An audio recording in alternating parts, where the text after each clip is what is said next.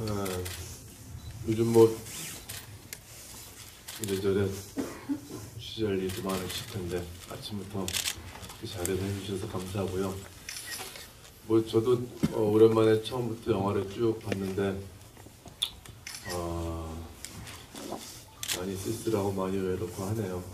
좀 와주셔서 감사하고요. 뭐 혹시 이따가 얘기를 좀 음, 뭐 같이 얘기 나눌 수 있으면 더 좋겠고요. 또 고맙습니다. 네.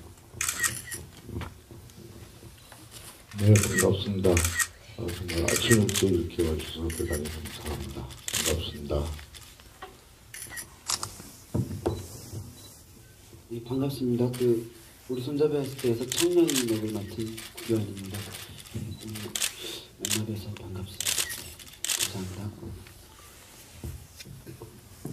네, 안녕하세요. 그 무술대 베스트에서 성우 역할을 한 성우 김사연입니다. 반갑습니다.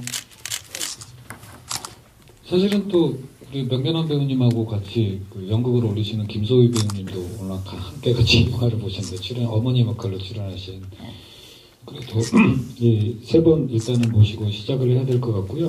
어, 제가 먼저 여러분들이 질문을 고민하게